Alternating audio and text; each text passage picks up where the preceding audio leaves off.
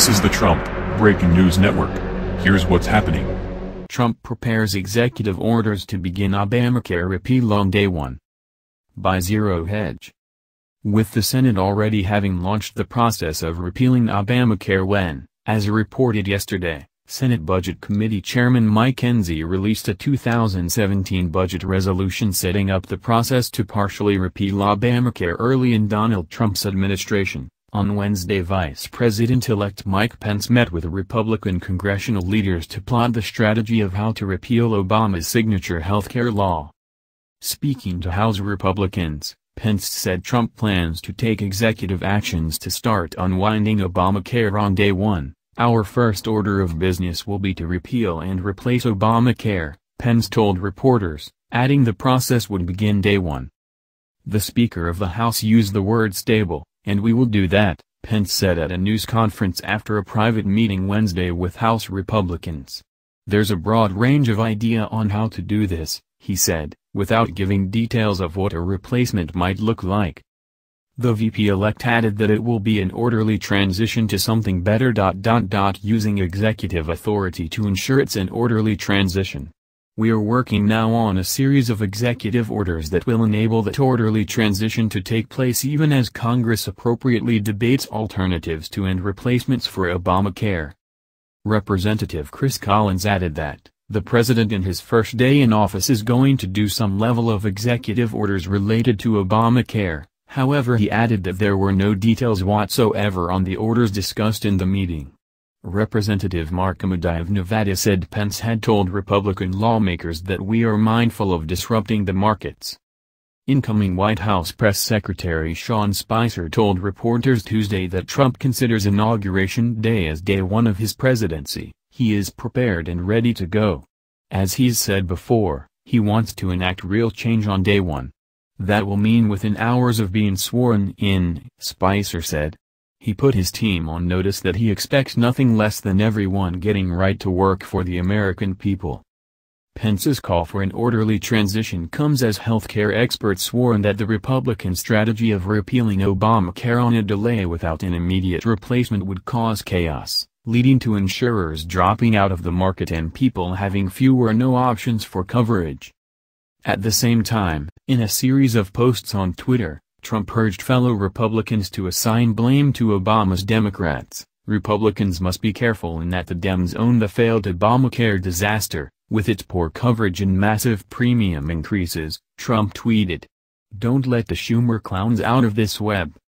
Massive increases of Obamacare will take place this year and Dems are to blame for the mess, he added. It will fall of its own weight, be careful. Despite Trump's eagerness to unwind Obamacare, Republicans will have obstacles to overcome. For one, they have not decided how long to delay the repeal of Obamacare. Options floated range from two years to four years. Some Senate Republicans, meanwhile, are uneasy with the idea of repealing Obamacare without a replacement immediately available. Roughly 20 million people stand to lose coverage if Obamacare is repealed and no replacement materializes.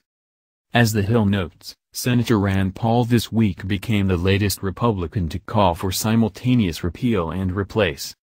And while Republicans from Pence on down are clearly eager to get rid of Obamacare, there is much more cautious enthusiasm among the GOP about crafting a health care policy to replace it. Lawmakers close to the pending overhaul described it as a lengthy and deliberative process, aimed to minimizing disruptions for Americans as the nation's healthcare system changes. We have to make sure there's a very effective transition going forward, said Representative Kevin Brady, Republican Texas, who chairs the House Ways and Means Committee. I'm hopeful that we can continue to lay out those pieces on a step-by-step -step basis through this year. The devil is always in the details.